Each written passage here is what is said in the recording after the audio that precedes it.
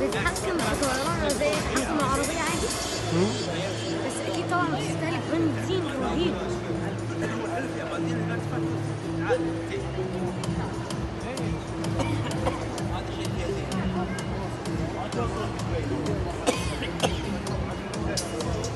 Like this?